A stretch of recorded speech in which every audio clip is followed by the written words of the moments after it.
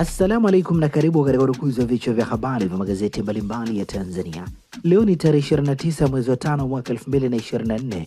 Siku nzuri kabisa ni kualike kunako dukuzi wa vichwa vya habari vya magazeti mbalimbali ya Tanzania, dakika kadhaa za kutazama namna magazeti ya Tanzania yalivyoandikwa kwenye kurasa zake za mbele.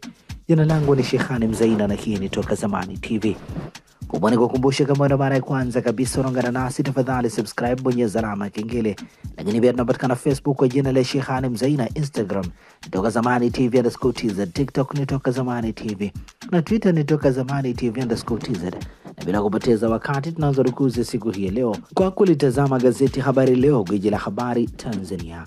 Lenye habari iliyopewa kipaumbele ni Tanzania kujiimarisha kimataifa, diplomasia ya umma kutumika, mkakati diplomasia ya uchumi wa iva balozi zapewa agizo, falsafa ya 4R, ughaibuni wa tamani biashara EAC. Habari kamili ni katika ukurasa wa pili wa gazeti hili. Yajivunia ufadhili wa EADB, ujenzi wa miradi. Habari inaendelea kwenye ukurasa wa nne wa gazeti hili.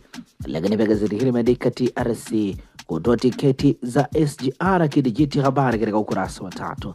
Tanzania Marekani zajadili biashara. Habari inaendelea kwenye ukurasa wa nne wa gazeti hili lakini pia gazeti hili imeandika tuma kwa namba hii korotini, wizi wa milioni kumi. Habari katika ukurasa wa ishirini. Masjala ya ardhi Dodoma yafungwa. Habari katika ukurasa wa tatu. TMA yahadharisha athari kipupwe Juni Agosti. Habari inaendelea kwenye ukurasa wa saba wa gazeti hili.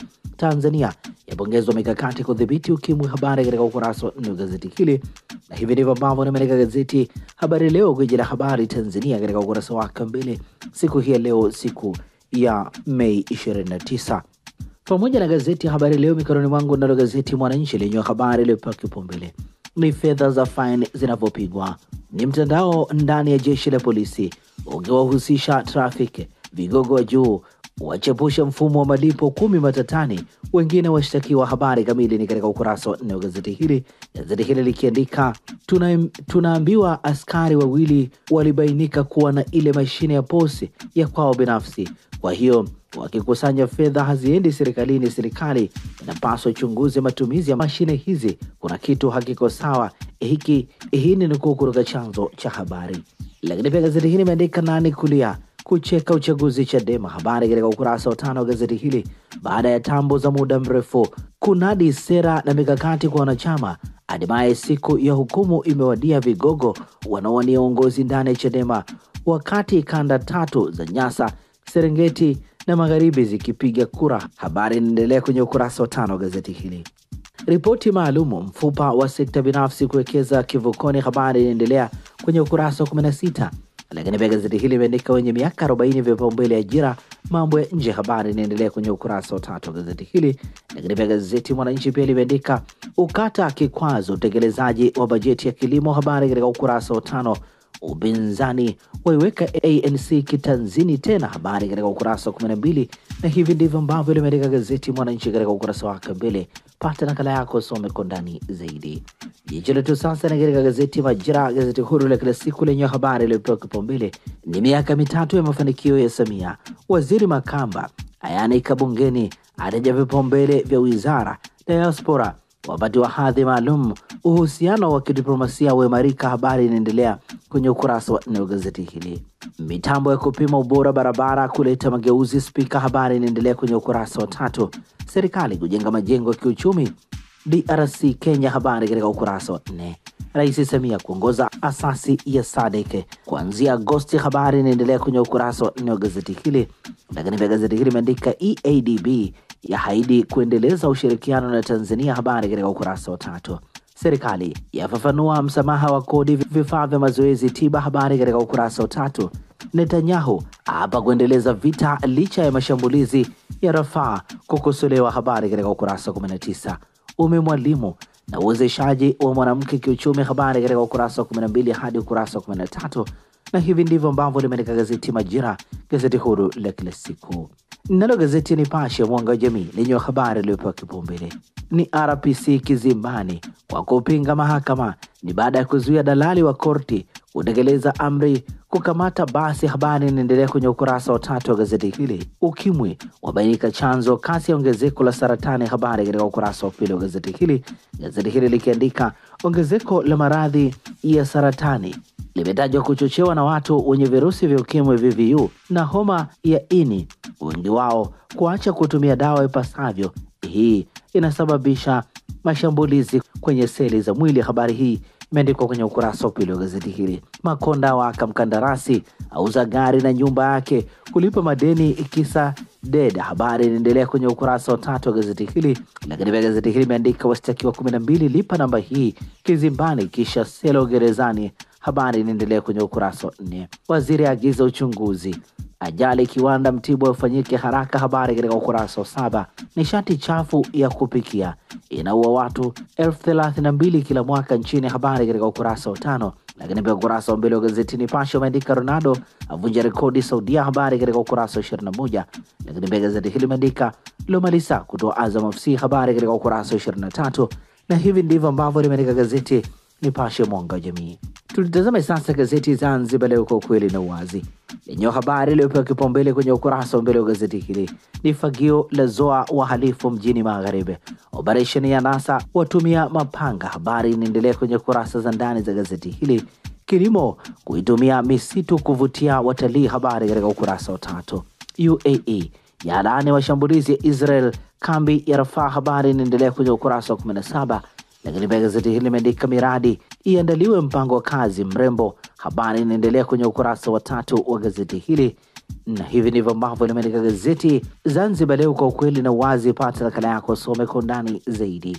Jicho letu sasa ni katika gazeti Tanzania Leo, sauti ya Mtanzania lenye limeandika vipaumbele vitano vya Samia kimataifa kutekeleza diplomasia ya uchumi kwa kasi zaidi, serikali uratibu wa Tanzania waishio diaspora kuwa kinara wa ushawishi jumuiya za kikanda. Habari inaendelea kwenye ukurasa wa tatu wa gazeti hili. Gazeti hili limeandika wizara ya ujenzi kurudisha miundombinu iliyoharibika. Habari inaendelea kwenye ukurasa wa nne. Upotoshaji vivuko da kuna maslahi binafsi Bashungwa. Bashungwa avunja ukimya sema. Habari inaendelea kwenye ukurasa wa tatu wa gazeti hili.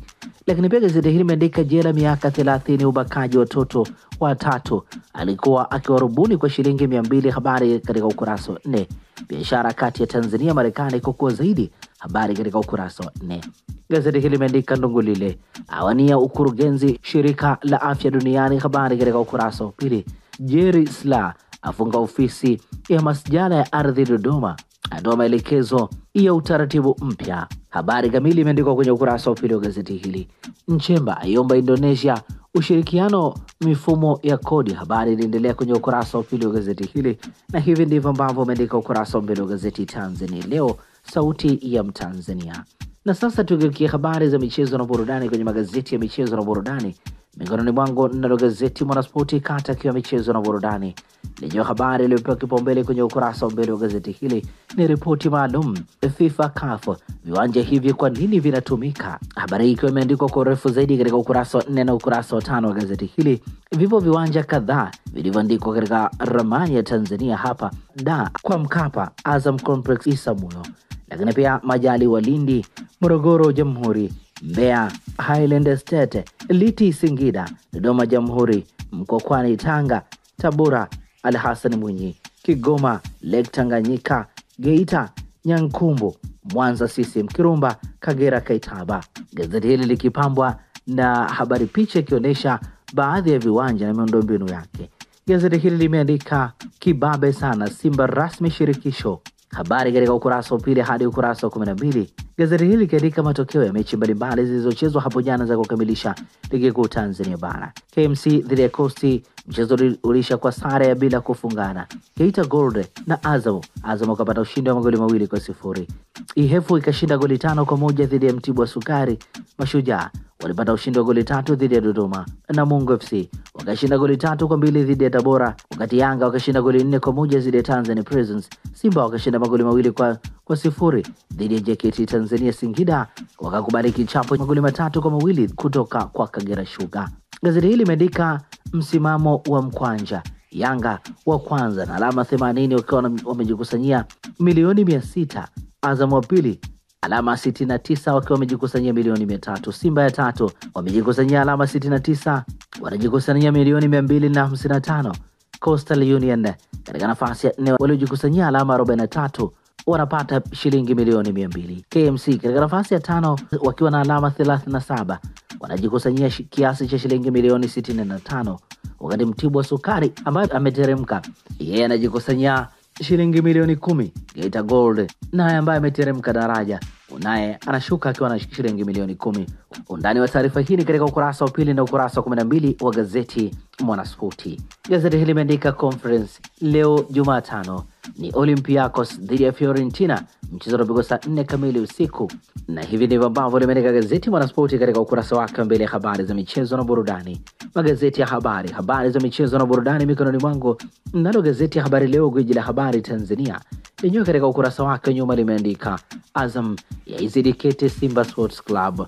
Simba imeshindwa kupata tiketi ya kushiriki kwenye michuano ya ligi ya mabingwa Afrika msimu ujao, pamoja na ushindi wa mabao mawili kwa sifuri dhidi ya JKT Tanzania katika uwanja wa Benjamin Mkapa, Dar es Salaam, huku Azam waliopata ushindi wa mabao mawili kwa sifuri dhidi ya Geita Gold uwanja wa Nyankumbu Geita jana, wakifuzu kwa mara ya kwanza kushiriki michuano ya ligi ya mabingwa Afrika tangu walipofanya hivyo mwaka 2012 2013. Undani wa taarifa hii ni katika kurasa za ndani za gazeti hili. Geita Gold yaenda JKT Tabora kazi kwao. Timu ya Geita Gold imeteremka daraja baada ya kufungwa mabao mawili kwa sifuri na Azam FC uwanja wa Nyankumbu Geita jana. Undani wa taarifa hii ni katika kurasa za ndani za gazeti hili. Azizi ampiku Faisal jioni. Kiungo mshambuliaji wa Yanga Stefan Azizi amekuwa mfungaji bora wa ligi kuu Tanzania bara msimu wa mwaka 2023 2024.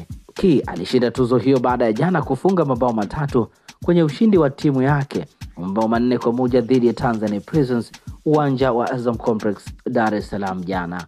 Undani wa taarifa hii ni katika kurasa za ndani za gazeti hili. Shilole ambatano Rais Samia, habari katika ukurasa wa 21. Ronaldo avunja rekodi Saudi Arabia, habari katika ukurasa wa 22. Na hivi ndivyo ambavyo tunakamilisha rukuzi wa vichwa vya habari vya magazeti mbalimbali ya Tanzania kwa kulitazama gazeti Habari Leo, gwiji la habari Tanzania, katika ukurasa wake wa nyuma, habari za michezo na burudani.